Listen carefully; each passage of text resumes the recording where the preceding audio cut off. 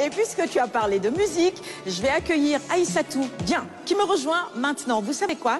Eh bien, l'orchestre Digeni a décidé d'accorder l'exclusivité à la RTS, à Quinqueliba, en venant ce matin nous présenter sa dernière production. Bonjour Sarah. Bonjour Sarah. Comment vas-tu? Ça va très bien. bien. Comment vont les autres filles, les autres Ah, elles vont bien et je leur fais un petit coucou de ma part. Coucou à Samba Jaïté également qui a arrangé tout ça. Alors, l'orchestre Digeni, aujourd'hui, c'est un jour particulier pour vous, Oui, très particulier parce que nous avons l'intention d'aller sortir le single Fast Mood, qui est un chant serré, adapté par Fulgence Faye de Chess, mais qui est réadapté par l'orchestre Digeni.